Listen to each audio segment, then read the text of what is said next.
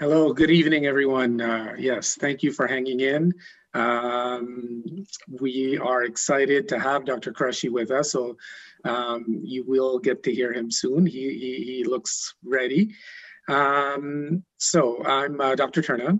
Um, I graduated from CASE in uh, 1996 um, and then went on to do an AEGD program at uh, SUNY at Buffalo and uh, completed that in 1997. Um, then I went on and did an associateship, and from there, uh, bought my own practice in 2001, and uh, have uh, practiced at my own office for for for that time. Um, this uh, International Speakers Bureau, I mean, we started that um, a while back uh, to help uh, alumni um, connect and, and reconnect to our dental school. Um, you know, we have quite a few uh, alumni here in in Toronto and, and the Greater Toronto area and in Canada. So we just uh, you know began this program and wanted to um, you know get everyone involved and, and reconnect and and you know um, this is sort of the uh, um, end result uh, from today. Uh, as you can see today, um, you know we're in a different time, obviously, with the pandemic and Normally, we do uh, hold um, this session um, typically in September, October, um, and you know it's hands-on and, and lecture. So you know this is a different format, um, and hopefully you'll you'll enjoy this format. Um, so um, for today, anyone who wishes to uh, receive continuing uh, education credit uh, for today for attending tonight's program. Um, you'll see a link um, to a survey um, at the end of the program, and uh, to receive your certificate, please, um, you know, complete that link uh, and the survey, and you should receive your uh, CE certificate about 30 days after completing the survey. Um, also, we, we will take, uh, I think Dr. Quereshy, hopefully you'll take some questions at the end of the presentation. And um, so what you can do is you can just add it, uh, add your questions to the uh, chat box um, that you see um, um, on your, on your um, link there. So without further ado, um, I'm excited to have alumnus Dr. Faisal Quereshy presenting to us this evening. Um, he's a native of Toronto, Canada, so thank you. Uh, Dr. Quereshy is a board certified oral and maxillofacial facial surgeon and a board certified facial cosmetic surgeon. After graduating from dental school from um, SUNY, uh, School of Dental Medicine, with a DDS in 1994, um, he went on and completed a specialty training residency in oral and maxillofacial surgery at Case Western with an integrated medical school curriculum whereby he earned his medical degree in 1997 and his certificate in oral and maxillofacial surgery in 1999. He is currently a full professor with tenure at and the residency program director of the Department of Oral and Maxillofacial Surgery at Case Western Reserve University School of Dental Medicine in Cleveland, Ohio. Um, he has both academic and private practice locations where he practices full scope of oral surgery. Uh, he and his wife, uh, Dr. Usman, who's an endodontist, um, own their own their uh, practice, the Visage Surgical Institute and VSPA in Medina, Ohio. They have four beautiful children. Uh, Dr. Quereshy enjoys golf and supporting the Cleveland professional sports team. So thank you again for joining us, and I'll turn it over to you.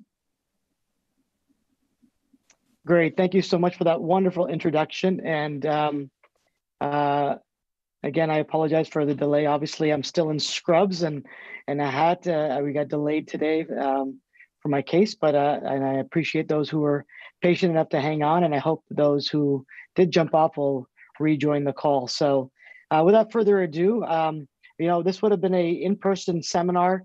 I was looking forward to coming visiting home. Um, and I, you know, my my parents and my my brother and brother-in-law and in-laws all live in in Toronto, and that would have been a good opportunity to come home and visit. But such is life with the pandemic, and I hope that everyone just stays uh, safe and healthy.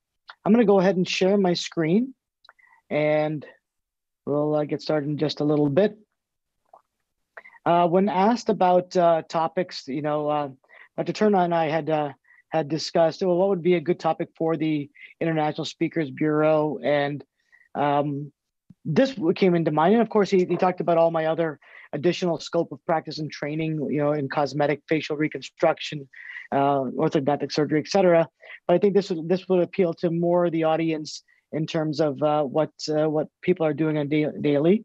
Uh, full arch dental rehabilitation or uh, reconstruction and solutions is something that I do a lot of here at the university with residents and in my private practice, as he said. So that's going to be the focus of the discussion tonight.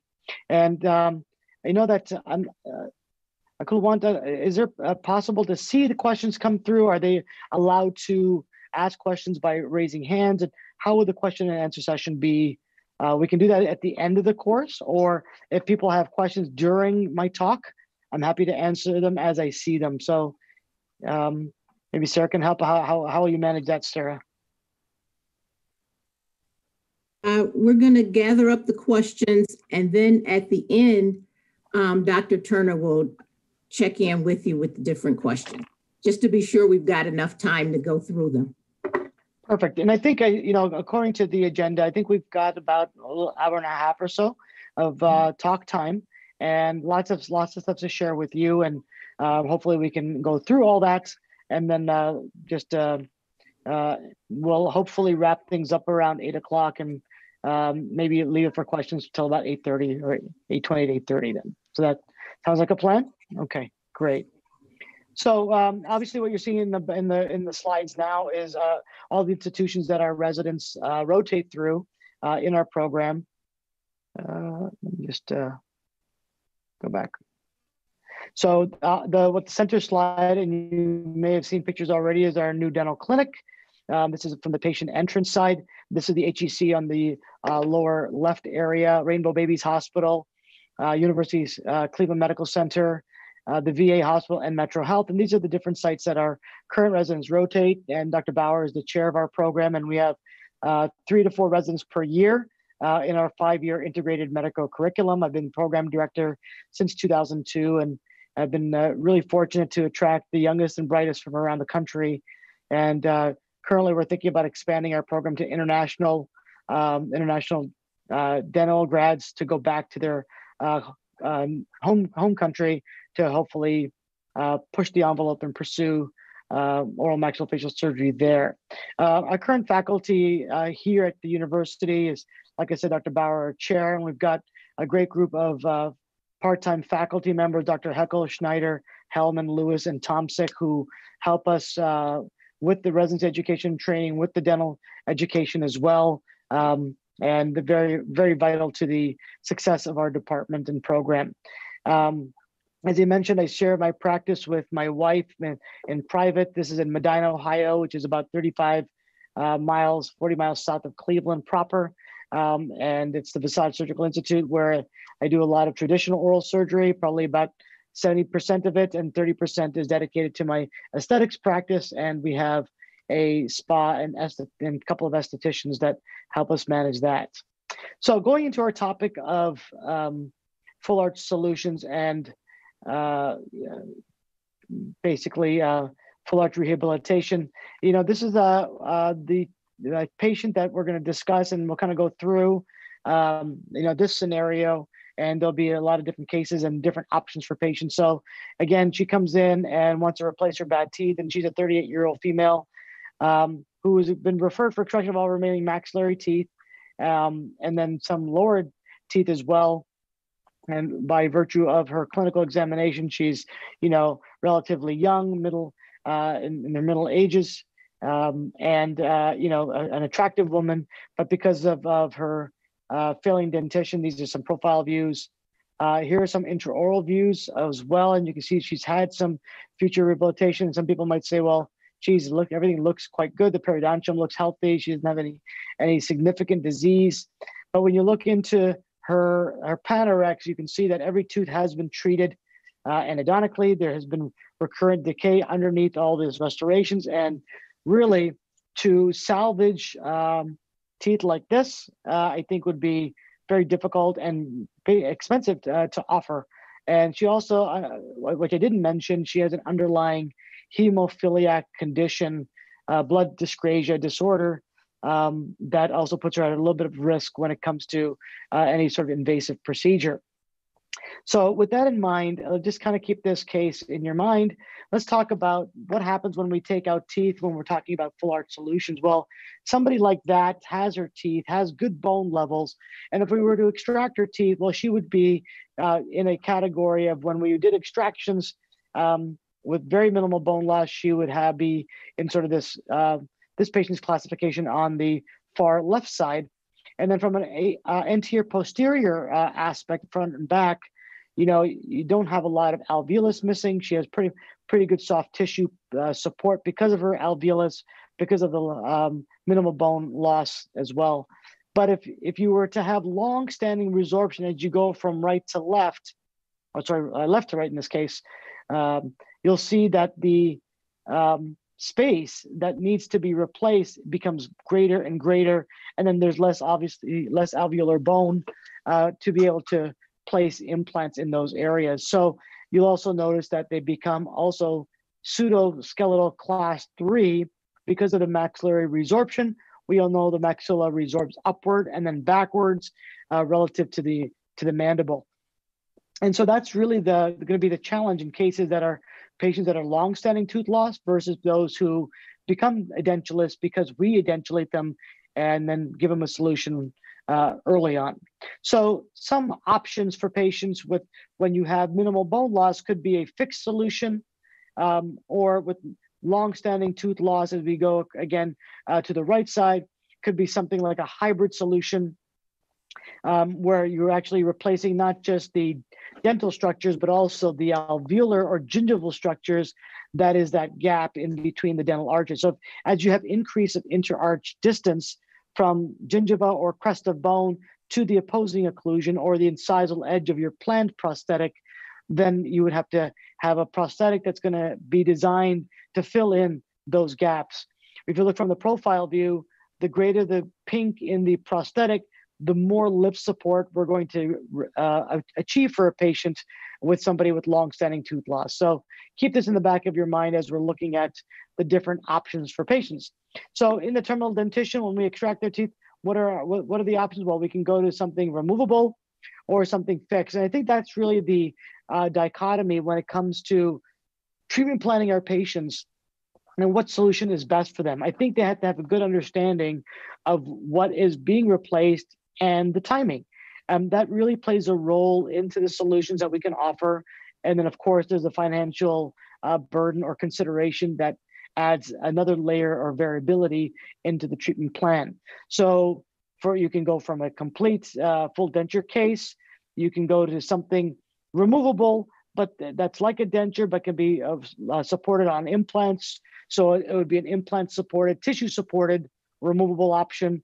And then in the fixed solutions, obviously hybrid solutions are an option, and you can go with traditional uh, complete fix with no tissue support um, with fixed crown and bridge. Now, incidentally, the hybrid option is a total implant borne solution, and therefore um, is, I think, a, a good option also when it comes to looking at what is being replaced uh, in terms of both teeth and uh, hard tissues as well. So, what are what are the pros and cons? You know, doing a complete denture. We obviously know that uh, a, a pro is obviously the finances. Um, you know, in terms of cost, right? So, and you can deliver the dentures the same day. We all know, though, that there is changes in the alveolus. There's alveoloplasty that needs to be performed. Um, there may be reline appointments, and then there may be a final, uh, a final more definitive prosthetic that has to be made. And to me, that's a con because that increases a cost um, and a little bit of a delay. Frankly, uh, you know, these patients require multiple and frequent relining, uh, relining appointments uh, where a definitive prosthetic is then refabricated after eight weeks of healing um, from the from the initial extraction procedure. Um, you do get good lip support because of a flange, so that's that's important, and especially in cases where you have moderate amount of bone loss and why you know maybe there's a severe periodontal uh, condition. That's why the patient has um, would require frequent relines. But then with with the amount of bone loss, they would have greater lip support, um, and you know I, I, think that would help them from an aesthetic and profile view. Um, a con, um, it is difficult to go from dentate to completely edentulous and wear this denture.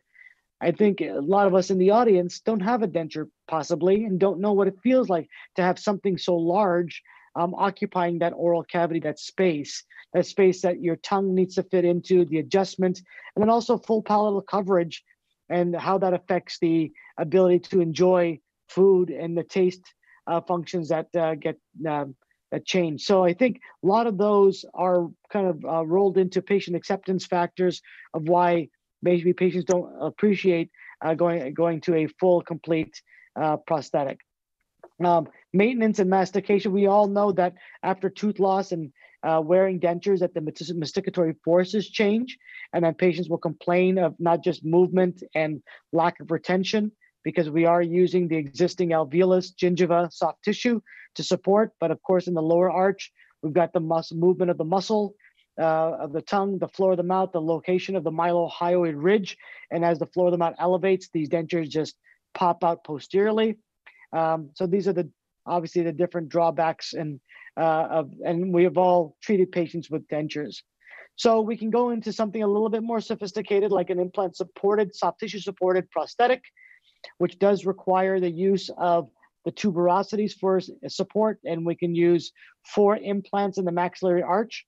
So I think this is a nice sort of alternative. It is a removable alternative, um, relatively uh, inexpensive, but you know some would say, well, the cost of locators maybe that has reduced our fee. We used to do a lot of bar on implants bar on a prosthetic uh, just to retain the prosthesis. The bar used to uh, increase the cost to something that, uh, that became prohibitive. So locators and zest anchors and so forth came out in the market space um, that allowed us to offer a more simplified solution. And then even talking to prosthodontists, which I'm not obviously, but in working with a lot of specialists in prosthetics, that we can even get away with three implants in a tripod format to give someone a removable implant and tissue supported uh, prosthetic. Um, in this regards, we are considering this a minimal surgery in terms of the amount of, of bone reduction and so forth that can be done in the immediate uh, sense, but cannot be loaded immediately. Uh, the implants need to be more in an axial parallel placements. That's that's critical, and and therefore you really want to increase on anterior posterior spread for the greater retention and the long-term success for the denture, uh, for the prosthetic. The con is the, um, you know, the bulk of the prosthetic that uh, typically, again, can be minimized. In this case, this, this example design, we have a horseshoe palateless upper uh, maxillary prosthesis, uh, which is quite nice. You can see the metal substructure for uh, strength and rigidity, but it is acrylic based. And we, I have not seen a removable prosthetic in this type of design to be anything but more than uh, an acrylic bar or an acrylic uh, overdenture, uh, you know, uh, material. Um, maintenance can be a little bit of an issue because they do have to clean it. There is an intaglio surface and the denture does act like a tray. So it is not an ovate design on the intaglio side. So the flanges do have space where food can come up underneath the flange. And so frequent rinsing, cleaning, and washing needs to be done. If it is, if we are doing a locator type of uh, design, then we all know that the locators need to be re replaced maybe every year and so forth. Um, we do need to uh, be mindful in the workup and the planning of the inner arch space. And a lot of these patients that have been possibly edentulated uh, for many years prior, um, you know, the VDO changes. And so therefore we need to, to work them up like we do for regular, uh, uh regular um, removable pros cases with the amount of VDO and uh, lip position, tooth position, etc that um, that will help us in in the the prosthetic design. We all know that without the, the uh, without paying attention to these parameters, we can have failure in not the implants, but more in the prosthetic failure. So that's that's critical in all this. Um, just a, as a reminder to all of us and all of you, I think the majority of people, I, uh, I believe, that are on this uh, do practice uh, general uh, dentistry. Um, some pros, if there's some specialists, they know this as well, periodontists, etc. That we know that the amount of space required for the locator, um, as well as the eventual prosthesis, as you can see here, um, would be. Oops, I'm sorry. Let's go back um, uh, would be a total of about uh, you know about 11 millimeters of requirement between the top of the crest of the implant to the um, top of the prosthetic. So I think that is an important uh, value or variable to measure, um, especially in cases where we're edentulating them and there's very minimal bone loss. This is where it's required to actually have a surgical guide that can help us to plan the amount of bone reduction that's needed to avoid prosthetic failure, that is fracture of your prosthetic. Um, and then also the placement of the implant, if you have, uh, you know, by chance, this has been a, free-handed case, that's also gonna compromise the final result. So having it guided as much as we can with the use of CT scans, use of guided technologies can help us to avoid these pitfalls in the prosthetic design. Implants will integrate, you'll have prosthetic failure where the material is rather thin in the areas where uh, you only you can't have multi-unit abutments that have angulations on on locators. They tend not to work very well long term. And in the case of locators, you can see that the structure of the prosthetic with a metal substructure and framework can give it strength and rigidity. We do know that it, it is still uh, acrylic uh, and uh, cured to the resin cured to teeth, um, and that that we know that definitely can snap up. But now we have full PMMA type of prosthesis that uh, can be monolithic and uh, one piece essentially made to look like separate teeth and gingiva, but in one piece, and you then avoid the avoid the pitfalls of prosthetic teeth uh, breaking off of a removable prosthesis. So those are the sort of the new um, uh, newest technologies and newest materials that have been used uh, for a lot of our patients is one piece. So in terms of implant only um, uh, supported prosthetics and not relying on tissue, well, then we need to make sure that if we're just gonna have implant borne and not have the uh, use of soft tissue, we may have to place the implants a little bit more posterior. Well, what happens in the uh, premolar, bicuspid, and molar areas? We have the presence of sinus, uh, the sinus um, architecture and the sinus anatomy, which may preclude us to placing implants without sinus augmentation and sinus lifting surgeries. That might also not be allowed to uh, be done at the same time as extractions or placements may have to be second stage, which then requires additional healing time. Bone grafting, depending on the size of the augmentation, may may be simple as you know one, two, or two teeth sites. But if you have a full pneumatized sinus from a, a patient that has long-term uh, resorption and long-term uh, edentulism, might require more than just uh, you know allograft materials, more uh, like autogenous grafting, which requires a hospital type of procedure where we actually take uh, bone from the iliac crest or some other autogenous uh, site to get greater volume for a sinus lift. So those are the factors that might play a role into, you know, what kind of bone materials and bone uh, bone replacement options we have. Um, and that and therefore the AP spread. If we want the implants to be further posterior, we're definitely going to run into the anatomical spaces of the sinus we in, in implant supported we want them axially placed implants um, again in the removable design they have to be axial because the draw of the prosthetic needs to be all parallel to each other if you have implants that are angled in a removable scenario well now you have implants that are angulated in the bone and your draw is not parallel to the axis of the implant and therefore there's a lot of stress and strain on the implants, both on the mesial and distal aspects, and that's why we end up getting implant failure. And it's really not recommended for locators to be placed on tilted implant design. When we talk about tilted implants, that's why all those prosthetic designs are fixed hybrid or fixed situations um, that the patient doesn't have to remove and you avoid those tension and uh, tensile and sort of compression uh, forces on the implants. Um, other, uh, you know, advantages again, the emergence of the palate, as we talked about, uh, in terms of the prosthetic material and the strength. But you know, we're talking about cost as really as a factor that drives patients towards this option.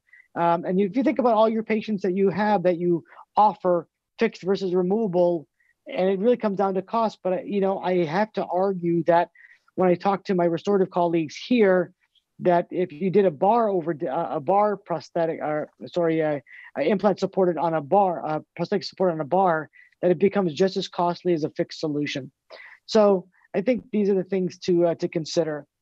Um, again, as we're talking about bar, um, you know, really, uh, you know, for me, a bar situation would be if someone has compromised uh, bone structure. We may be able to get the implants in, but I know that this might be a little bit more of a long-term, uh, long-standing resorption problem. The implants need to have some cross-arch stabilization, so forces are dissipated not on the implant but across across the bar design. The locators, as you see in this example, can be placed at the implant site or in between the implants. So therefore, if this is still removable, when the patient pulls this off, they're pulling it off the bar and not off the implants per se. So that's really the advantage. But again, if you think about the prosthetic space required for all this, you've got the bar height, the abutments on the bar, as well as a locator. That's a lot of space. You're only looking at 15 to 17 millimeters of inter arch distance. And there you have it. 14 is the minimum by textbooks. But I would argue, I would say that you, if you err on the side of more than less, you, you'll definitely be safe in terms of um, having any, any issue. So the bar thickness is anywhere from four to five millimeters. The locators we know there's obviously the um, the cap that goes on the locator attachment as well. So that's you know the scenario for having a uh, sort of locator bar situation. And there's the fabrication of the bar. Um, again, relative to the tooth position, and that gets you know these are all custom custom made, and so that that's why it can increase the cost. So looking at so, sort of a two implant scenario, um, this really is for a mandibular arch uh, treatment option. Very rarely prosthodontists, people who specialize in prosthetics will will um, offer two implants on the maxilla. Now, I have done three for some patients, um, and that you know, and maybe for a patient who has uh, a very uh, maybe a very small patient in terms of uh, physical framework and physique, uh, very low masticatory forces, and really just um, you know, and maybe the diet dietary restrictions on that particular patient might be such that they can only eat uh, soft foods and uh, really want something retentive, but is, is, able to remove them. So three implants to me would be the minimum on the maxilla. On the mandible, uh, two implants is typically a scenario that is often used. Um, dental students restore them often in our in our in our dental clinic. Um, but you need to have them at least 20 millimeters apart just to get enough anterior posterior spread uh, for the implants. We typically like to countersink some of the implants and uh, definitely uh, relieving the denture um, uh, can be done so the patient can wear her prosthesis while the implants are integrating so they would not be immediately loaded until after about three months of healing. And in the mandible, we can actually increase that uh, uh, recovery time to two months. So very easy to do on the mandible. This is you know typical scenario, long-standing tooth loss, and you see a very thin keratinized tissue base. And I would also argue that as resorption occurs, your um, your keratinized tissue that surrounds the implant is going to be compromised. We know that. We see that. You lose hard tissue, you lose soft tissue. So we have to be cognizant of where the keratinized tissue is. So in these kind of, the kind of cases, we would not use a punch technique where we want to remove the tissue. We want to split the keratinized tissue, push it buccal lingually away, and be able to place our implants in a fashion that has nice keratinized tissue that will heal around it. This is a single sort of single staged placement of implants and healing caps. Um, you'll notice that oh, that the space between them is narrow. Why? Because as resorption occurs, the mental foramina become closer together. So we're we're limited how far posterior we can go based on the mental foramina. Now you could go distal to the mental foramina. The problem is the crest of bone also resorbs because you have then the saddle ridge deformity that we see uh, time and time again. So you can't place your implants uh, in posterior to the frame, and otherwise you're placing them into the canal, even with the short implants. So typically, this is a scenario that you don't get a good anterior posterior spread, but you can have something that's a little retentive. You still have flanges in the lingual. You've got the retromolar pads that also help to retain the prosthetic. And when the patient chews, you know, hopefully they don't tip up from the back um, uh, in that scenario. So if you had enough room between the foramen, you could think about placing four implants um, in a, again removable axial pattern uh, situation.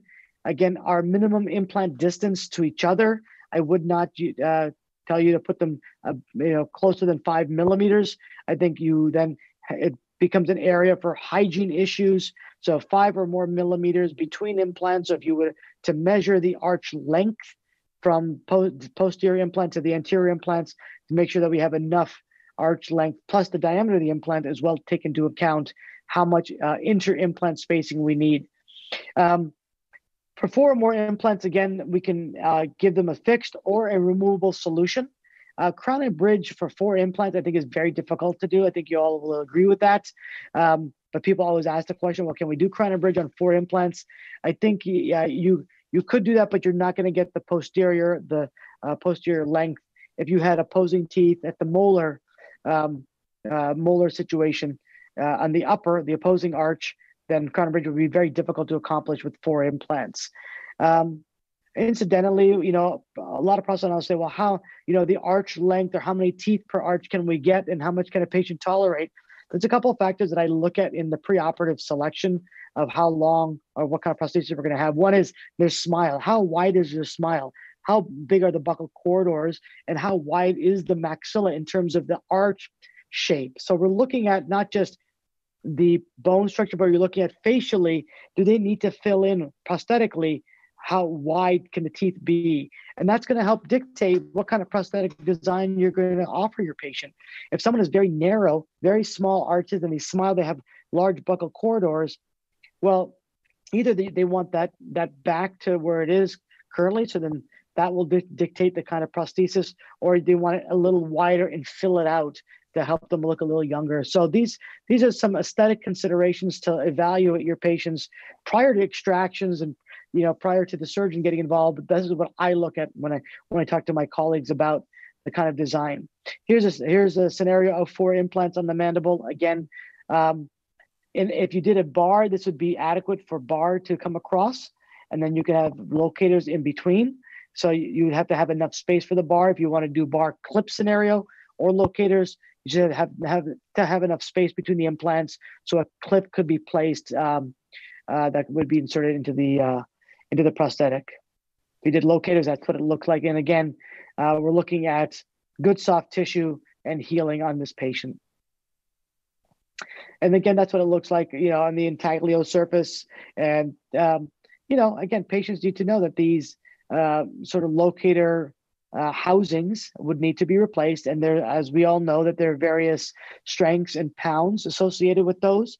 And you might have a patient with very poor manual dexterity or poor just uh, physical dexterity, physical strength. Rheumatoid arthritic patients uh, come to mind that they have very much, a lot of difficulty in taking these off and often can get very frustrated. So be aware of, of those patients as well.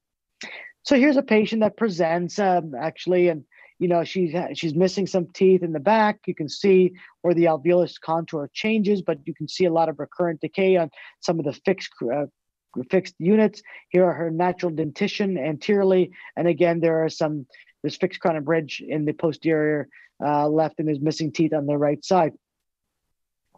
Um, this is a patient that we then edentulate, we flap, we deem that the teeth are non-restorable, but you know, as a solution, she wanted a removable option.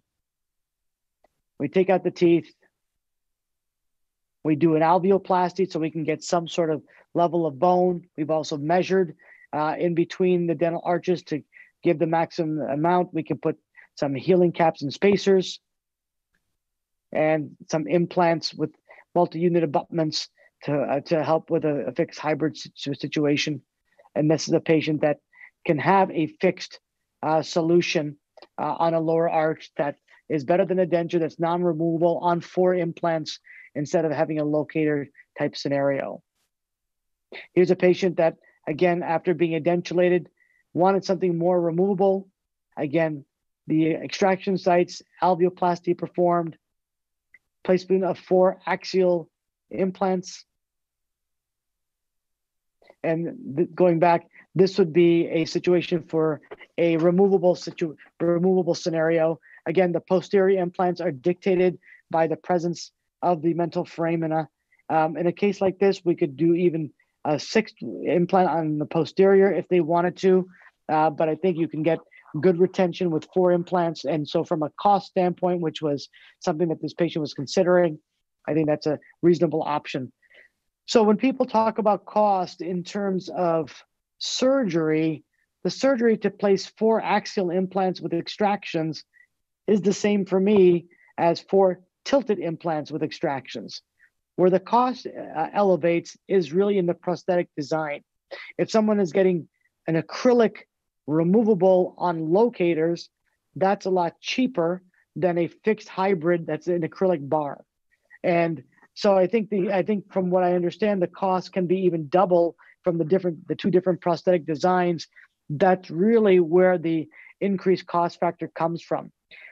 The other aspect of the cost is if this patient had severe resorption, the only way to get axial implants would be to do bone grafting. If the if the bone was reduced vertically, they would need bone grafting to elevate the crest of bone, crest of the ridge, wait, and then place implants. Now that cost, you know, increases from the surgery side, just to get something that's removable. So when I look at all those factors and come out with a solution, I think really you have to look at uh, cost factor.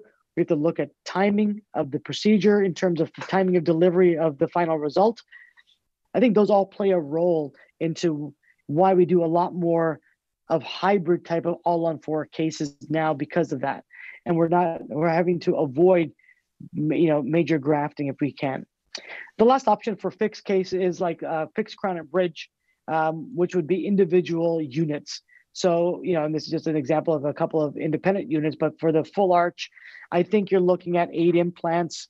Um, I know that, that, and again, this is not a hybrid prosthesis. It is just crown and bridge where you're not replacing gingiva. So therefore we have to make assumptions in these cases that you have ideal bone levels, good periodontal health, and you know you're really extracting teeth and placing implants in sites that have uh, have really just non-restorable teeth, not not from a restorative standpoint, from a hard tissue uh, enamel standpoint, if you will, not from a bone standpoint. So those patients could be offered uh, crown and bridge. Now we have patients that want to have the feeling of being able to floss in between each tooth. Um, for those patients, then you need to, you know, do individual impl- implants, and you know we're not doing that anymore. Um, but some patients, I know that we can make full arch um, hybrid solutions that they can floss in between the actual uh, crown, but not beyond the pink of the uh, of the prosthetic. So there are there are some uh, some scenarios uh, using a um, uh, I know some other labs, which I'll talk about in just a little bit, that allow us to make individual teeth on a hybrid, where it gives the patient the feeling of flossing in between each tooth, uh, but the the entire gingiva is one piece, so they can't go beyond the cervical, uh, the you know the papilla papillary level of the of the prosthetic design. Here's a case that presents. So this is kind of um, common. Someone with long-standing tooth loss, super eruption of the lower anterior teeth. Therefore, the alveolus is rather high compared to the posterior mandibular alveolus. Let's concentrate on the lower arch for a second, not the upper arch. Oops. The upper arch has severe maxillary resorption. She wears an upper denture. She's satisfied with that for the time being. So for this uh, particular case, she comes in and says, you know, I don't want to wear my partial on the bottom, but I do want something fixed and I don't want to wear, I don't want to have a denture.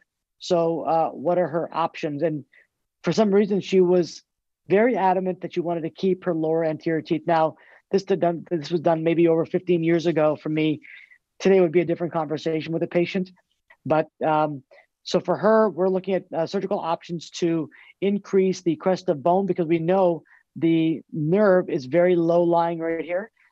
Um, low in terms of it's the the crest of the ridge has is low on top of the canal. You can see the mental foramina, just the hints of them, which actually, if when she was wearing her partial, incidentally, that would actually pinch the nerve, and you have a lot of patients that can get a sort of a a nerve, uh, uh, a uh, dysesthesia, uh, pain, um, a neuralgia, essentially from every time she chews, she's compressing the nerve, causing nerve injury.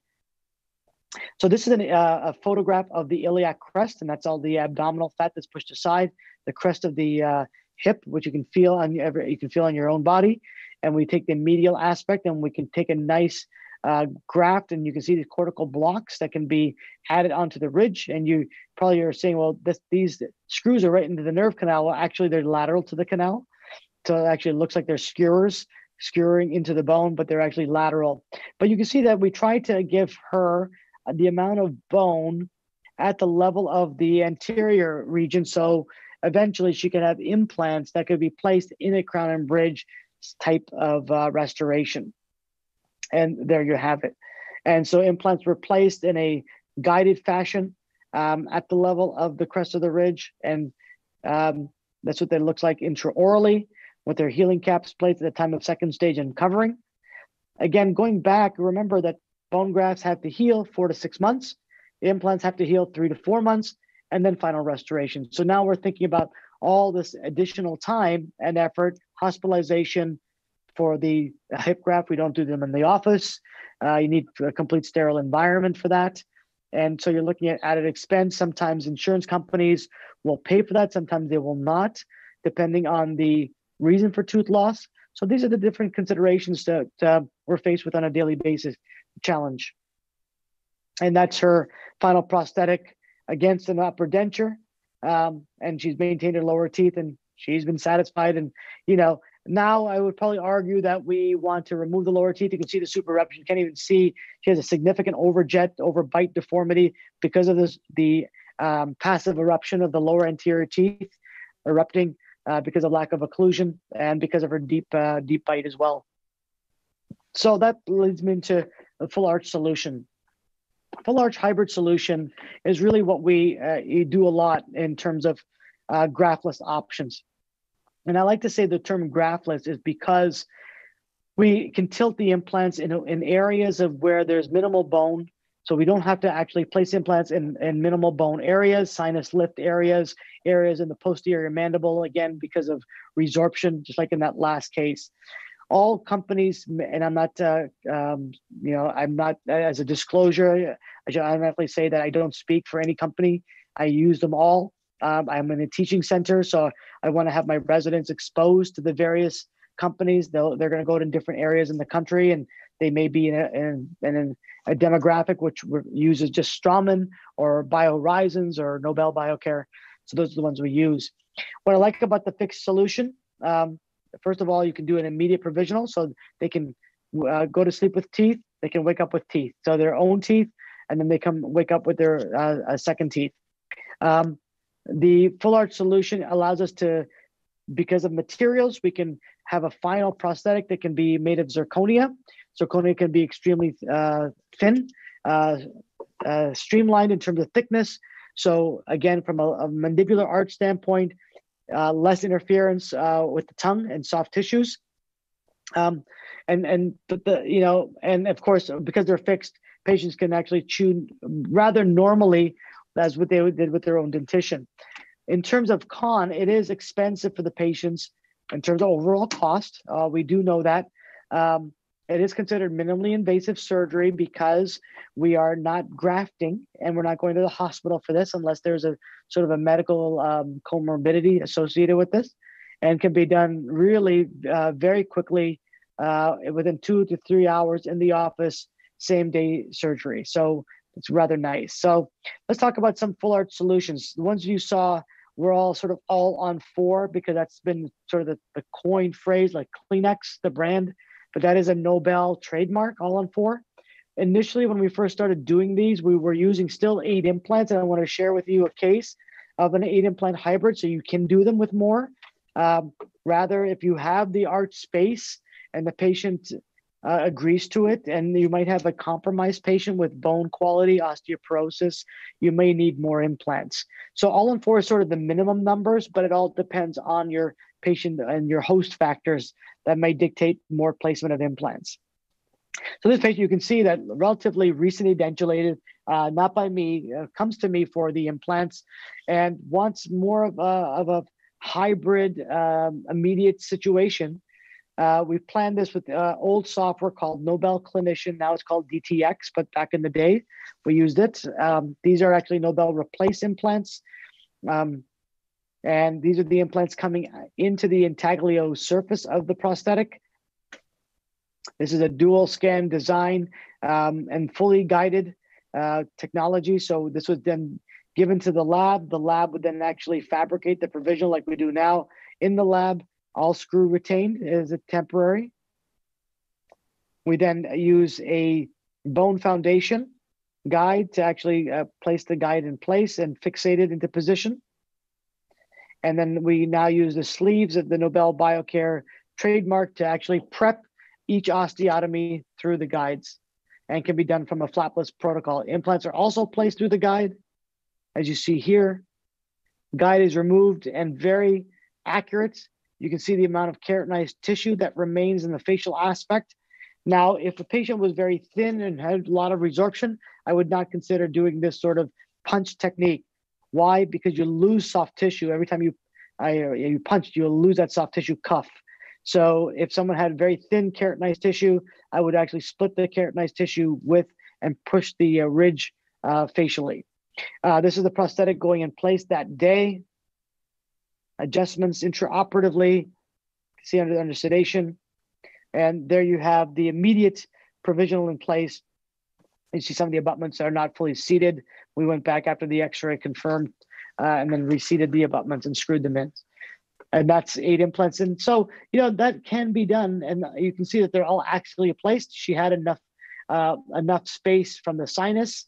So this is that scenario that we talked about earlier when someone is just recently dentulated minimal bone loss, and you can give them a very thin prosthetic design with very little uh, tissue uh, to build in. As people become uh, long-standing tooth loss, now we got to think about um, the fixed hybrid approach with tilted implants. Again, using a graftless design because we're going to tilt the implants away from regions that uh, require bone grafting. We don't have to do that. We can angle them. Um, we can use multi-unit abutments that would then angulate, uh, correct the angulation to make them all appear parallel to each other. So that way the access for the restorative uh, colleague is actually actually uh, placed as opposed to having to lean back and try to approach the screw. So you can see here from this, this simple uh, diagram. Again, we do need the restorative space to be able to have all these components in here. So most lab or labs that work with me will typically design about 15 millimeters to 17 millimeters crest of ridge to the proposed incisal edge of the planned prosthetic to be at least that amount of space uh, to accommodate all the, there's a bar within the prosthesis, the components of the multi-unit abutments, and then of course the, the teeth itself. Um, so you need to have that restorative space. So you, from the restorative end, you've got lab fees that increase the, the cost. Um, from the patient end, it uh, you know you you go with something fixed. They never have to wear a temporary or provisional. Um, we do have some factors that have to take place in order to be able to accomplish this, and that is the insertional torque value of the implants has to be at a certain amount to allow for uh, this loading to take place. And you do get immediate loading of our prosthetic. So uh, from a cosmetic standpoint, we do get great lip support because you're adding the extra pink on the prosthesis. One critical factor which goes along with restorative space is this transition line. When a patient smiles, it's important to evaluate not only the buccal corridors, like I talked about, but how high their lip rises. And so the amount of tooth show and the amount of lip movement, lip mobility is critical in these patients where the bone level needs to be. So taking photographs to aid um, in our lab to be able to create that transition zone, transition line to be apical or hidden above the upper lip is key. Same thing with the lower arch. We want to be able to hide. You don't want to have the patient showing lower teeth, lower gingiva. That's unnatural. If the if we didn't have enough bone reduction, then the prosthetic sits higher, and then there's more pink gingiva or pink acrylic showing in the temporary and the final prosthesis, um, which can be uh, again an aesthetic disaster. So critical to be able to evaluate that. Finally, on the lower arch, I think what's important in terms of restorative space is the VDO. The VDO is critical. We need to have a good measure, and accurate way to measure VDO in our patients preoperatively, and then decide post-op, is the prosthesis going to be at the same VDO or do we need to in, in, increase it?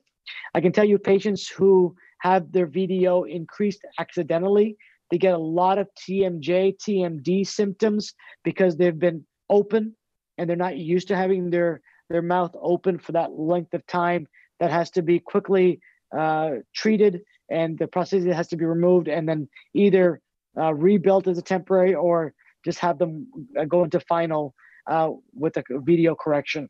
So very important to, I didn't put that in my uh, notes here, but I had a patient just today that I had to treat uh, to take off her prosthesis because she couldn't tolerate the increased VDO that was inadvertently created.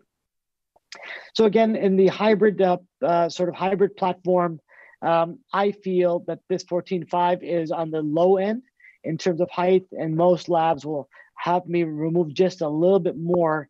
Um, and again, taking the aesthetics into consideration where that um, crest of implant needs to be. And this is just the wax up of the acrylic bar within the hybrid. And again, where the tooth forms would be. And again, this this uh, is no longer done this way. It's all monolithic. Um, uh, can be monolithic or mono uh, a, a, P, a PMMA, uh, one unit, one piece, uh, which looks very aesthetic in the, the provisional phase, and you don't have to worry about teeth breaking off and snapping off on on the area that that are cured.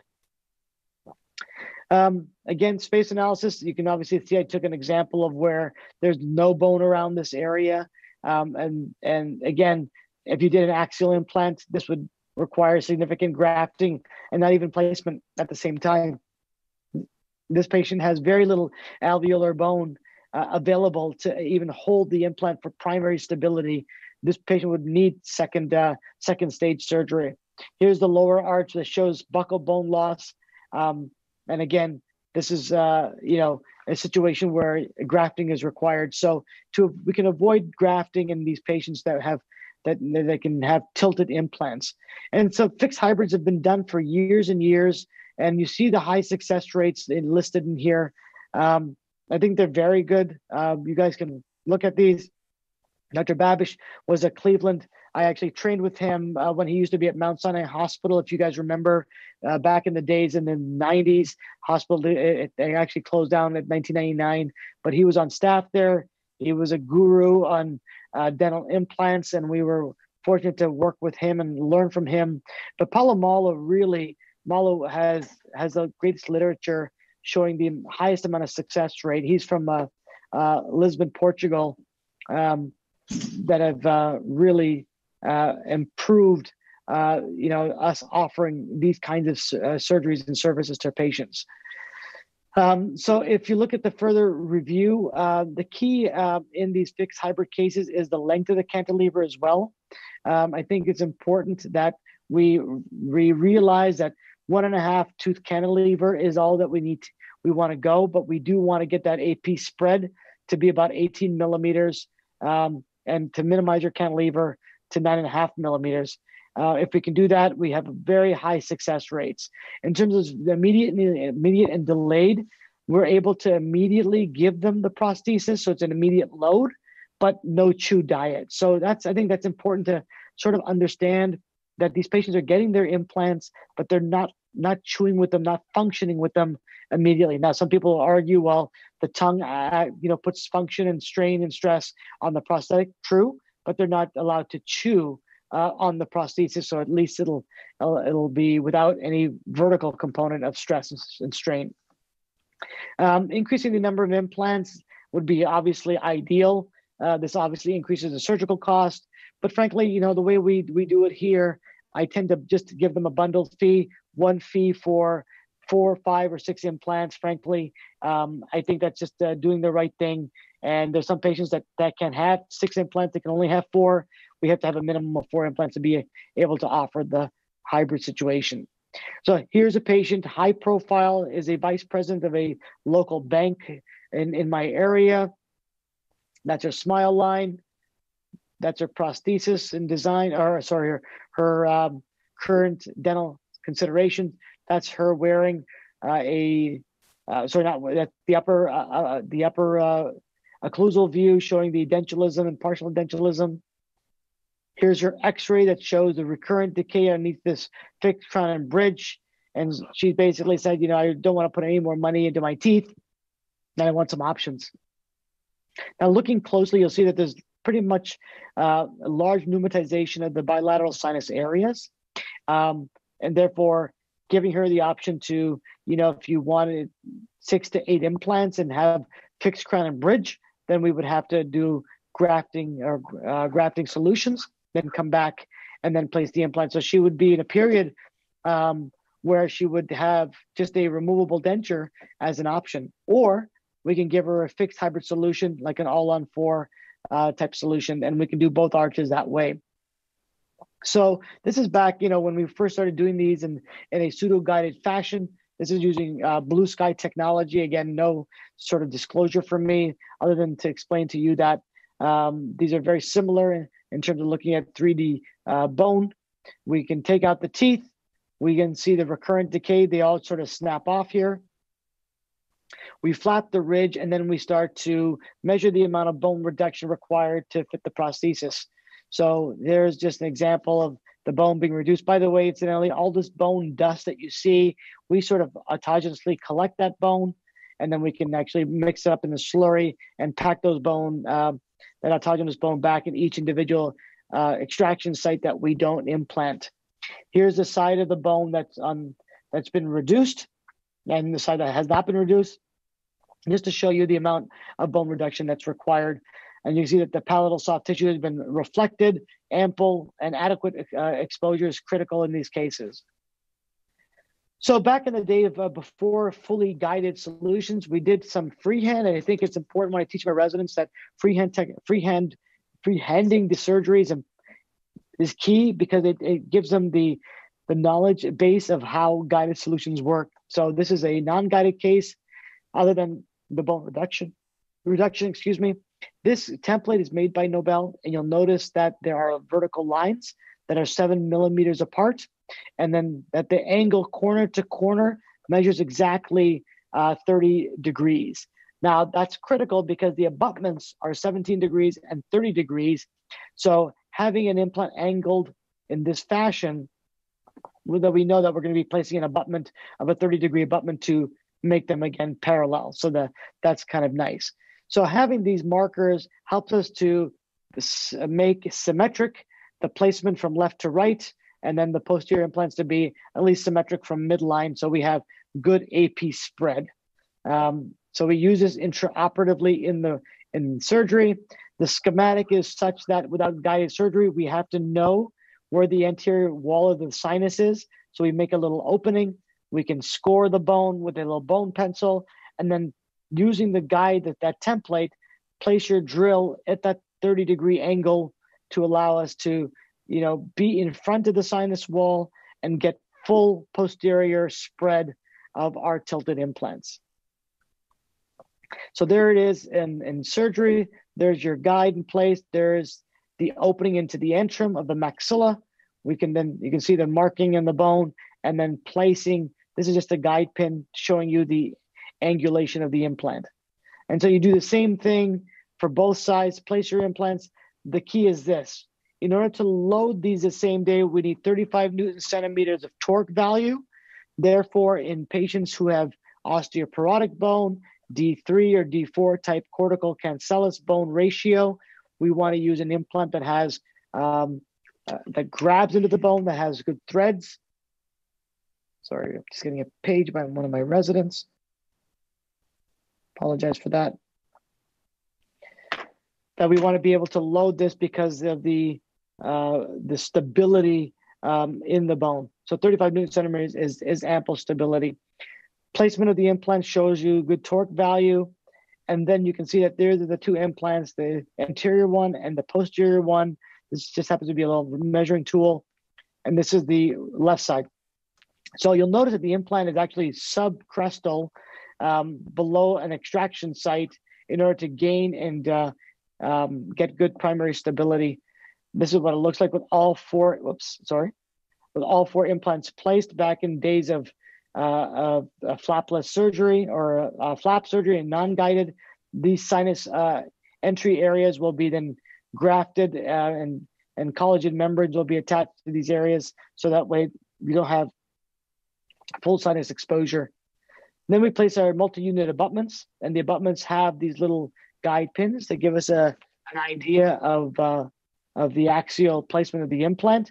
Oftentimes, I'll ask my restorative colleagues to give me a surgical uh, template of where the prosthesis would be, and we overlay that over top of the guides uh, to then place our temporary copings. Now, back in the days, um, we would then suture around the gingiva using these uh, these little white white caps. Take the white caps off and place these temporary cylinders. Then we would pick up the cylinders in the mouth. So prior to all guided technology and and doing things in the lab as opposed to in in situ, this is all the old-fashioned way. I want to show you, you know, how we where we where we came from basically. The guide, the temporary copings are then cut down and then into proper into the proper lengths, picked up into the uh, complete upper denture. The lab technician is there chairside and then we're going to pick up those temporary copings in the mouth. We don't do this anymore. So all this is now streamlined. This used to be a five, six hour process, uh, full day affair for uh, just a single arch case. But I think it was uh, noteworthy to go through these steps. I've been doing this for 14 years now that we don't do this anymore. But having gone through them, we really have a good understanding of what the restorative uh, implications are. The complete upper denture is then picked up in the mouth, taken to the lab, trimmed down. Uh, another wash is done to pick up the intaglio surface. Master cast is then poured up in the lab. Again, this is all done while the patient is, you know, either having a light lunch, they're waking up now, and then the lab technician just takes two or three hours to do the rest of the conversion, and then that's the prosthetic that they get. So I mean, you get a very nice prosthesis. It just took a long time, and so a patient that enters like this can leave like this, and then two years later, this is what she looks like with excellent healthy tissue. We took off the prosthesis, a little bit of erythema, some food debris. But other than that, the overall gingiva is very, very healthy. Um, and patient was extremely pleased with her prosthetic outcome.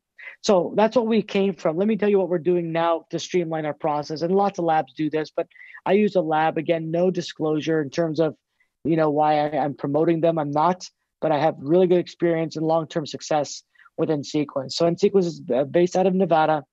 They have it's a two or three, four week, three or four week lab time in terms of, uh, making the prosthesis, the provisional, and then my surgical time and delivery could be within one and a half to two hours. So which is awesome, great for us. You know, maximum chair side. Um, the lab technician can be there to, to help deliver. The restorative dentist can be there as well, or just the lab technician can be there and the restorative dentist can see the patient the next day for occlusal adjustment. If they've done a lot of these with me, they tend not to come anymore. So we can just handle it ourselves. But it's really one one location. Patient doesn't have to travel to the dentist's office. Uh, the dentist doesn't have to be there, and it's just an overall ease of uh, sequence. So again, you know, these are just uh, intra intraoral scanning that we do now. We don't do traditional impressions. That this gives us an, a guesstimation of vertical dimension of occlusion uh, using our intraoral scanner. We take a CT scan as everyone knows how to do. This is just a simple uh, Carestream unit, but full head needs to be taken uh, with a patient in occlusion and a bite registration. So that captures their VDO in, and then we can adjust the VDO if we need to. So taking all that, all the images are then get uploaded into their software. And you'll notice that the the stone cast color is the patient's dentition. The green is the overlay of the planned prosthesis. This is a this is a chance now where we can adjust the patient's occlusal plane. If there's variations of teeth, patient gets nice teeth, and we try to pick uh, dental uh, tooth position, tooth profile, similar to the patient's natural dentition. Now, what patients need to realize is that in the provisional, this is rather bulky, and especially in the lower arch, not so much on the upper, but this is where the tongue has to be adapted to. If we if we make the cut back on the lingual side thin, they're going to fracture the temporary prosthetic. So I think it's important for them to be aware up front how thick this is going to be. And oftentimes I will share, I show them, I'll show a patient what a temporary prosthetic looks like and how thick it can be and what, uh, you know, unfortunately it, it is what it is in order to get them teeth in, in the day that's not going to break. Um, this design has six implants in here. Um, and you can see that there are some implants placed at the most distal site. Here's uh, another plan that shows five implants on a different variation. But what I'm, what's important to show you is the, the height required and the yellow, sorry, the orange is the bone reduction in the software that will emulate the amount of bone that's going to be reduced in time of surgery. Um, another thing to consider is what is the opposing arch and the occlusal plane of the opposing arch. That is a critical factor in these cases oftentimes look at this patient's opposing arch. Look how roller coaster it is. And if you're building a prosthetic to match the upper arch and the upper arch isn't level, there's going to be a lot of occlusal adjustments that are going to need to be taken place either on the upper or on the provisional. Now, a lot of times patients don't have the finances to deal with the upper arch or deal with, you know, maybe doing some crown and bridge work. So just be prepared uh, for a lot of uh, prosthetic uh, adjustments uh, in these cases.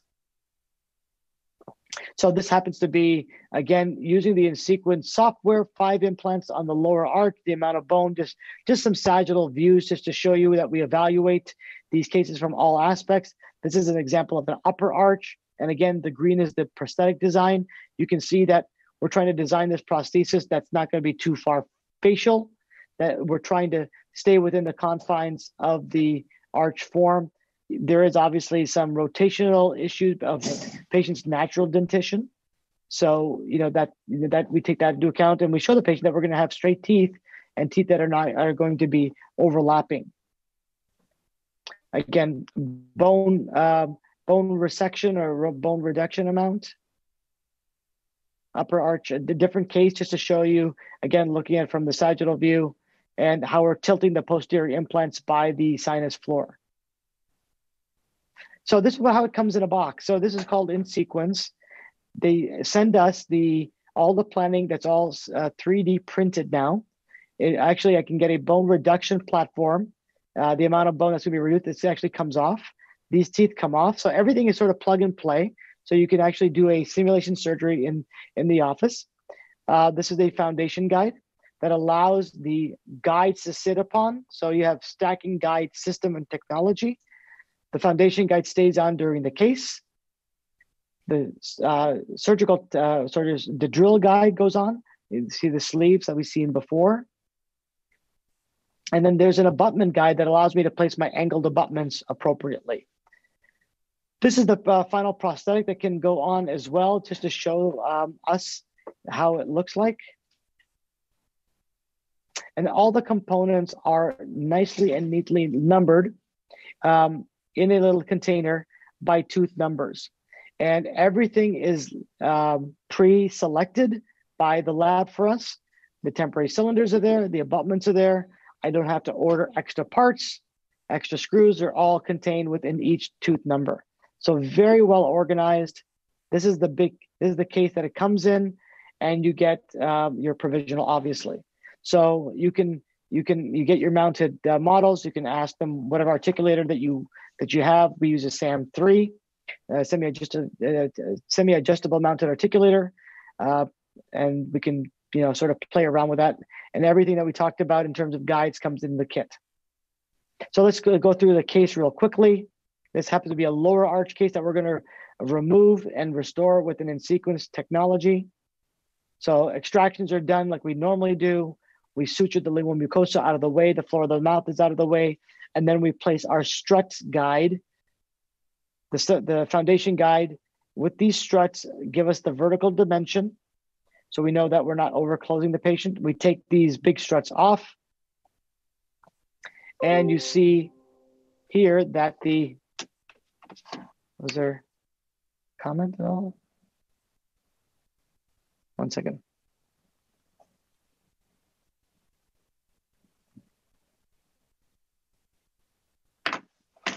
So this is the amount of bone that's going to be reduced. We use the platform of the guide to smooth the bone out. And this became very nice platform, allows us to place now the template or the drill guide over top. And then we do using our drilling sequence, you can see the angle of the posterior implants. The implants can be placed through the guide themselves.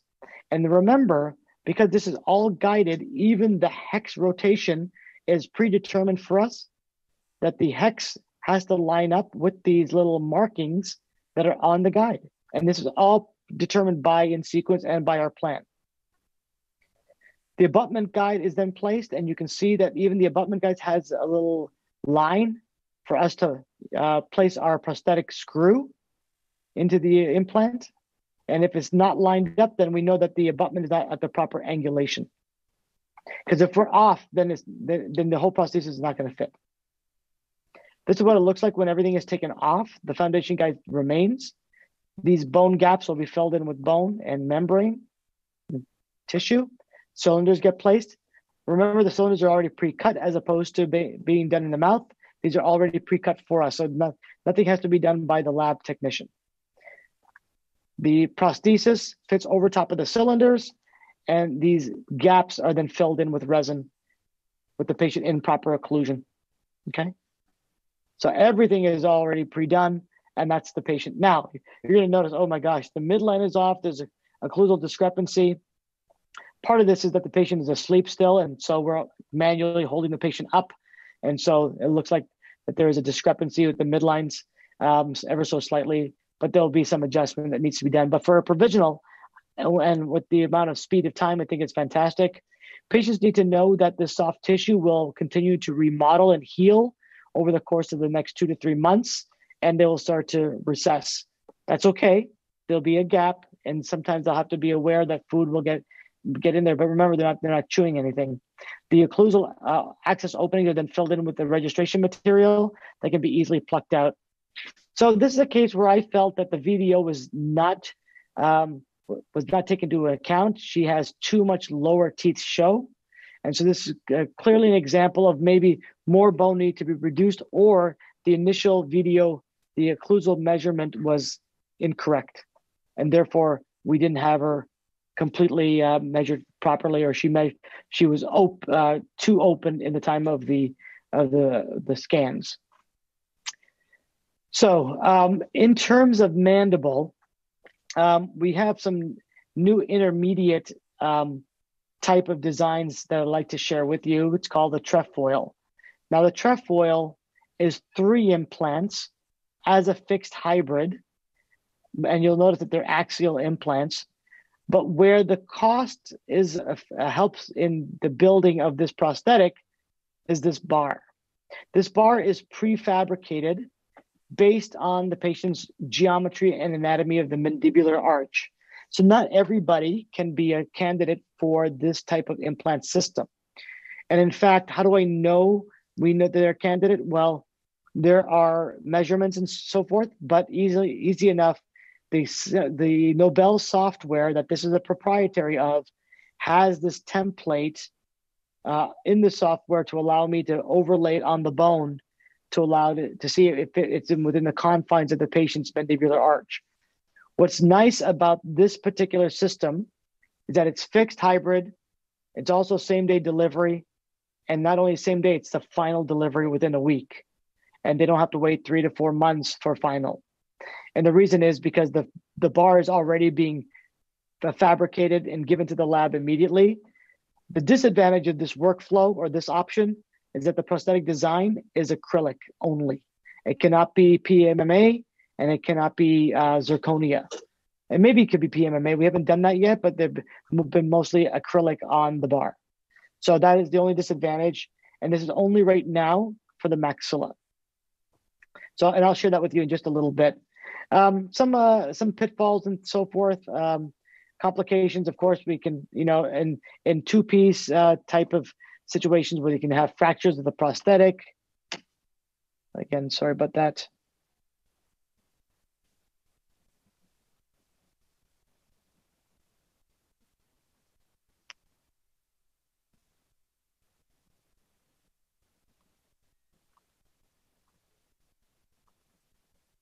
Fractures of the prosthetic, uh, acrylic breaking off, etc., curing issues.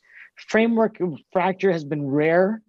Um, uh, so you know, and but we everything needs to be a passive fit in the um, uh, on the prosthetic and in, in, in the final. So the pickup has to be done appropriately. So back to our case. This was a that patient, the very first patient that needed implants and needed extractions. And so we offer her the all-on-four on top. And on the bottom, we're just extraction of uh, single unit teeth and placement of individual units. And this was done in the operating room uh, because of her coagulopathy, uh, burring of the bone, placement of the implants. And there's our case complete with her immediate provisional week later. So very little swelling. And that's uh, her temporary, and that, that's not her final. And that's the, the lower lower uh, implants be healing. So uh, really good uh, offering for this patient. What about severe uh, edentulism or atrophic arches? And we've got about uh, 15 minutes left, and I'll just wrap things up with some extreme cases. Well, again, we I mean, this patient is very concerned about obviously um, iatrogenic mandibular fracture. Um, we only have the anterior mandible. Remember, the symphysis is very good bone, um, and we can do the larger bone grafting options.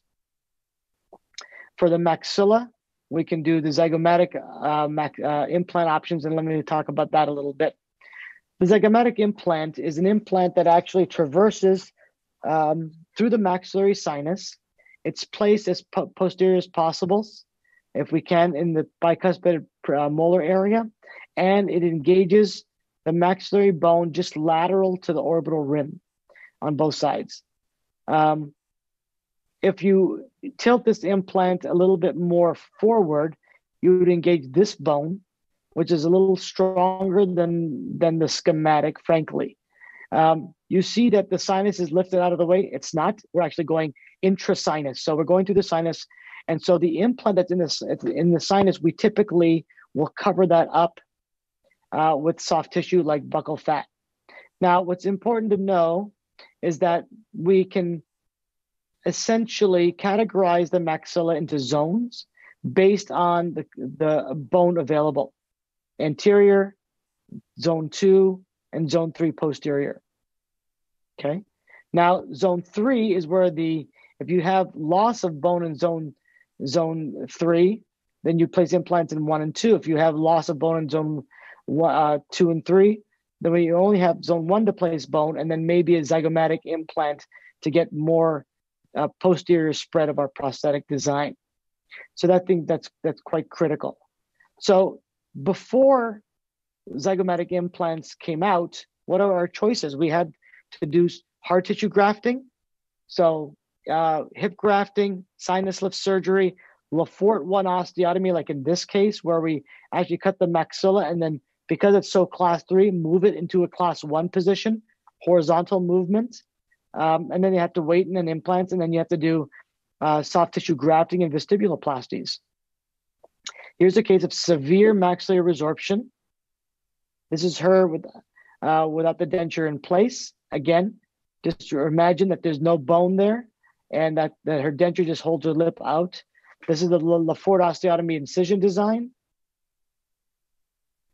We take cranial bone graft, PRP, and hip, and then mix them all up together.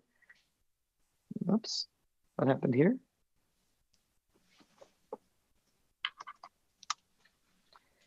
We can create a bone slurry and bone blocks. Bone blocks can be added for buccal augmentation and vertical augmentation. Plates and screws to hold the maxilla in position. And that's what it looks like in a better relationship. Still not ideal, but still better than what she had. And this is vertical augmentation as well as horizontal. And then placement of, and this is again another panorama that shows that, and then coming back and placing implants into that grafted bone. But now she gets a prosthetic that's not fixed, but is a complete removable upper denture with a palate. So still not the ideal situation.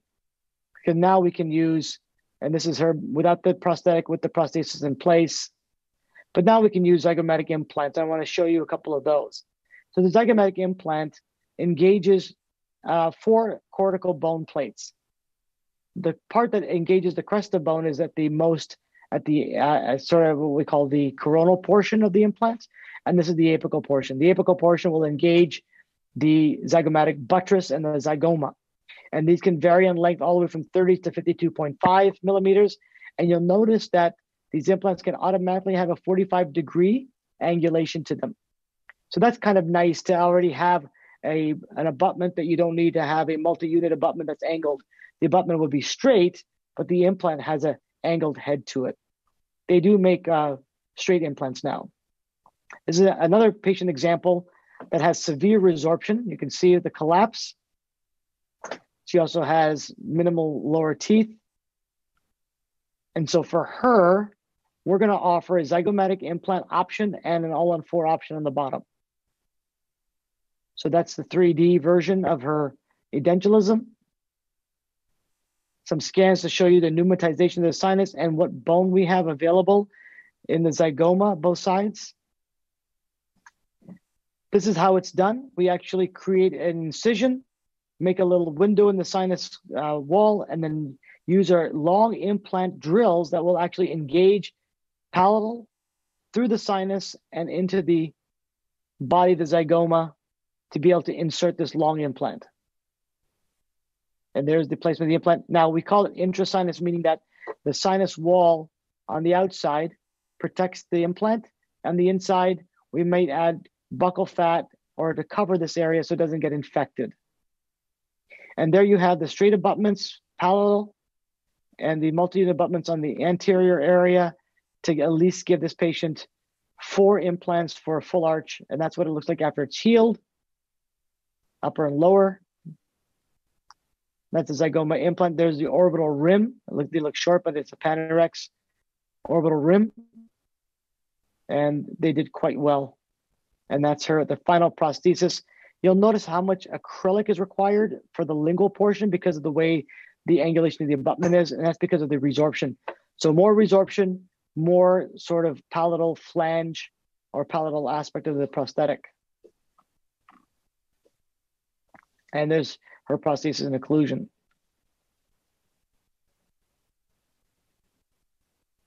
Finally, for the atrophic mandible, what are our options? If you have severe bone loss, we can do short implants, which I'm not a big fan of, but they need to be wide enough.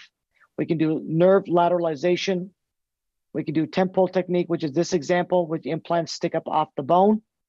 And this is done from an extra oral approach. That's an incision from the chin, lifting the whole chin up over, putting the implants onto the crest, and then not going through the oral cavity. The mucosa and periosteum is left intact and so when it comes over top, it'll actually tent up the periosteum and we pack autogenous bone around the implants.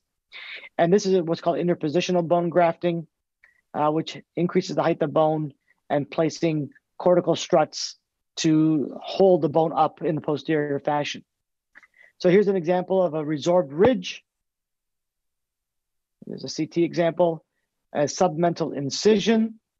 We can then drill and place implants in what's called a transmandibular implant fashion.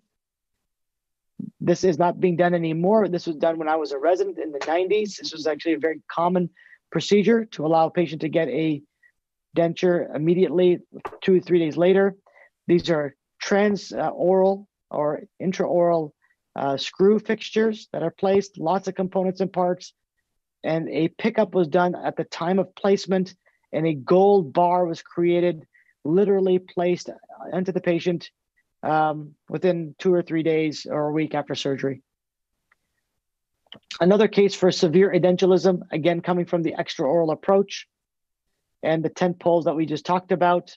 These are the mental foramens on both sides and the implants and the sites that are, are, are drilled into place and allowing bone to fill in around these And this is what it looks like on the x-ray after the uh, tissues has been redraped. Skin grafting is done intraorally because you do need some good mucosa, especially with atrophic mandibles you don't have. And this could be done also at the same time as a vestibuloplasty and pushing away the buccal lingual soft tissue. This is a skin graft. And that's the final prosthesis x-ray. Finally, trefoil, another solution that we just talked about. Three implants on the lower arch. Again, using the software specifically. See if I have something that I can show you.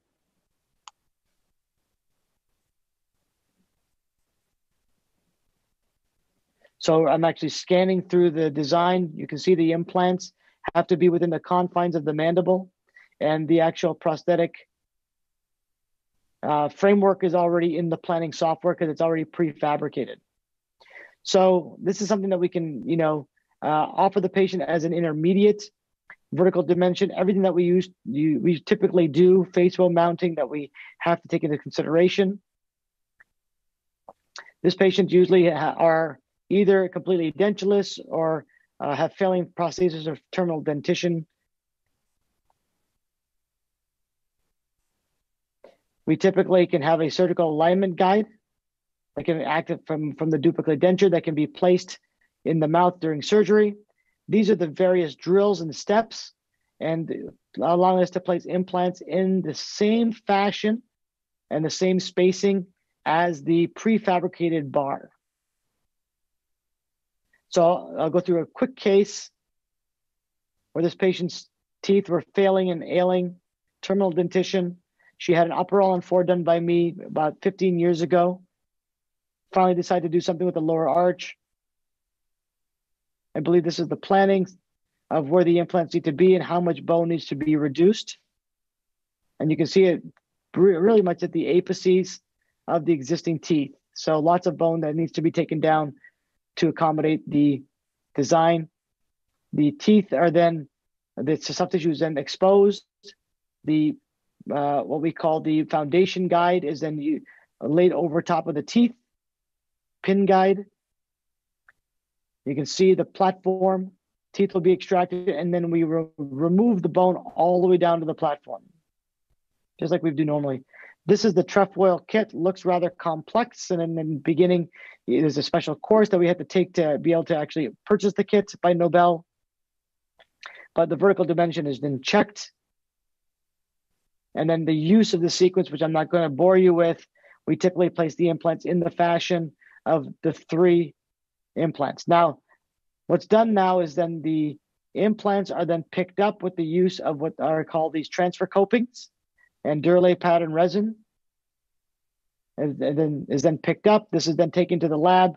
Any master cast is then uh, formed. The lab tech then takes the uh, takes the master cast from me, or takes the um, uh, the actual uh, prefabricated bar from me, places it in the patient's mouth, takes an impression. This is sort of the pickup of the of a temporary uh, prosthesis and then takes it back to the lab and then fabricates and and uh, creates the final within one week of surgery and that's the patient with their final so you can see the healing after three weeks so that's what it looks like actually when the implants are are placed this is just a different patient with a another prosthetic, prosthetic design of trefoil so with that, you know, we've been able to help a thousands, uh, thousands of patients, you know, over the last 15, 16 years, both at Case Western and in my private office. Um, I know that, uh, you know, that these are, these are offerings that, you know, are very helpful uh, to, to you all. Uh, this is my family, my wife um, who practices with me. My son is graduating from medical school this year. My daughter's graduating from dental school, and I got the two boys still in high school.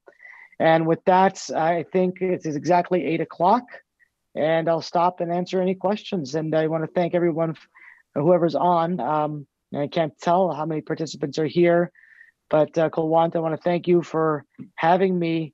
And I wish I was there in person and engaging, but hopefully one day we'll meet again uh, in person. So again, thanks. Uh, thank you, Sarah, for putting this together from our alumni office and for being on here for this time and uh, allowing me to be part of the International Speakers Bureau for Case Western Reserve University Alumni Office.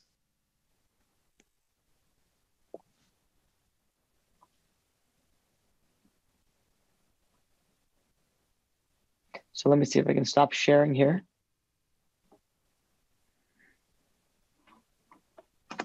There we go. All right, Dr. Turner, would you like to uh, ask any of the questions that were sent in? Sure, thank you. Thank you for that uh, fascinating and definitely graphic uh, info.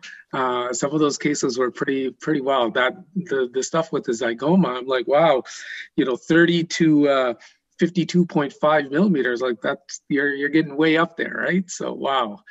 Um, so, um, so just a couple questions. Um, I have one here. It says, um, do you still place do you still place the implants five millimeters apart when you do an all on eight? So an all on eight, in that case, um, it all depends on the prosthetic design. So to me, if it, if I, I believe with an eight implant, you can go to more traditional crown and bridge in terms of the restorative uh, plan. And so usually with these with, with eight implants like that, I'm working with my lab technician. I'm working with working with the restorative dance. So it's a you know definitely collaborative approach to all these cases. I I, I want to make sure I emphasize that. I can't I can't underestimate the the, the need for restorative colleagues to be involved in the planning. Me as a surgeon and the lab technician. And so de- depending on the prosthetic design will di- dictate how much space you need. Usually, if it's crown and bridge, you're going to be more than five millimeters. You just don't, you can't put all those eight implants together. Now, um, you know, uh, a case like that, like in my the case that I showed with it, it was actually an all on eight, is what it was. But the implants were all actually placed. If you remember that case that I showed, so mm-hmm. those were more than five millimeters apart, maybe maybe even you know eight to nine millimeters. So we still like to keep the spacing appropriate. Really, if you're doing implants, just think about single units. We're not putting implants closer than three millimeters in single unit cases. So if you're going to do a bridge of implants, six implants or six teeth, you don't need six implants. You need maybe you know three or four implants to give you six teeth. So you're definitely going to be more than five millimeters apart. Hope that answers that question there. Yeah. And a follow up to that is uh, what is the largest angle you have seen that an MUA can correct? So um, I try not to go past 45 degrees. 30 degrees is what the guy, you know, when we try to plan them out with our, again, with our software designers and engineers, you know, um, I don't plan the cases myself. I don't have the time, frankly, and I leave it up to the engineers to do it. But when I teach my residents, if we're doing it freehand, I don't want to be more than 45 degrees. That's too, if you're 60 degrees, you, you don't want to be 60 degrees to the occlusal plane. So 45 degree would be my maximum. The abutments that are angulated, the maximum angulations are 30 degrees. So you can only, you can't go beyond that. So that's that's our lim- rate limiting step. And another question um, says, can you talk about the surgery you did today? And... Oh, today's surgery, why I was late? it, was, it was, well, the, the one I did today, uh, I, I had uh, the larger surgery that was delayed for was orthognathic surgery. So that was traditional osteotomy case. Uh, the one before that, it was a patient that wasn't a surgery, but she was two months after an all on four. And actually, we did five implants on the bottom. We call it all on four, but all on five. Um, her VDO was uh, poorly, I think, uh, registered in the planning, and she developed a prosthetic that was too tall for her. So she was actually open for two months with a lot of strain on her TMJ and having a lot of pain and discomfort, uh, saliva control, um, and just uh, just and a lot of anguish. So I just removed the prosthesis today. So today was not an implant day; it was more of orthognathic surgery day today um, and a follow-up. Uh, for an older patient, 70 plus years, where cost is not an issue, do you find they prefer to go with removable or fixed implants? Um, so it's, it's very interesting. I just had a patient yesterday that I treatment plan, and it happened to be a 75 year old Sjogren's disease, terminal dentition. Um, and if you recall, Sjogren's disease, dry mouth, dry eyes, etc. And one of the one of the options that the restorative dentist gave the patient was, let's take out the take out the teeth, put two implants, and give her a, a removable prosthetic. I don't know how many patients you've treated, seen with Sjogren's disease. I see a lot just because we're in the you know, the university setting and in my private practice, those patients do very poorly because of the lack of saliva, obviously, the dry mouth, with a removable prosthetic that rubs on gingiva. And if it's implant and tissue supported, those patients don't do very well with a removable prosthesis. I try to push those patients towards something fixed. In an older patient, frankly, if they don't have the dexterity to remove the implants, if the locators are not uh, are too retentive, I would rather go with something fixed that they don't have to worry about. And as a restorative dentist, you don't have to take the prosthesis off every year. We used to think that 12, 15 years ago that every year the patient has to come back, remove the prosthesis clean. If you can see underneath the prosthesis, if they're cleaning well, water pick, good hygiene, you leave it on, you just leave it on. You don't have to take it off. So I would actually go with a fixed solution for my older patients. Um, one more here. Um, what are your thoughts on placing an implant at a site with no native bone, um, 100% integrated graft material? Is it good success? Well, that's never the case because there's always native bone. So even in a sinus lift, no matter how much resorbs, the patient will always have a cortical wall of the maxilla. So in pneumatized sinuses, there's always going to be some crest of bone, and then it'll be all grafted bone on top of that. If I'm grafting that much, it's usually going to be autogenous graft for me. Some some surgeons who, you know, if I have somebody with 90% bone loss, I'm using autogenous graft. If I have 50% bone loss, I'm going to use allograft and mix it in with something like BMP. Um, but there is never 0% um, 100% bone loss. So there will always be some bone, but the, the, the secondary bone that's recreated or reconstructed for me is going to be autogenous bone, which then is their own bone. So it's always native bone. Hope that answered that question. I'm not sure. Mm-hmm. Um, so that's it. Um, so with that, thank you. Um, you know, we've received some great information from you this e evening. And, you know, on behalf of the School of Dental Medicine and our audience, thank you again for your presentation. Um, your insights have definitely been, you know, thought provoking, that's for sure. Um, so, again, thank you for your time. Um, I, I, like you said, hopefully we will meet uh, when, when you do come back. Um, Absolutely. Or, uh, you know, hopefully this border situation resolves itself. um, so I just wanted to remind the audience that, uh, again, just complete the survey if you want to receive your uh, CE credit. Um, and hopefully uh, everyone will join us at a future dental school program. So with that, thank you everyone. Just, uh, and feel anyone feel free to email me if you will. Um, I'll uh, be happy to answer questions. FAQ which is easy, at case.edu.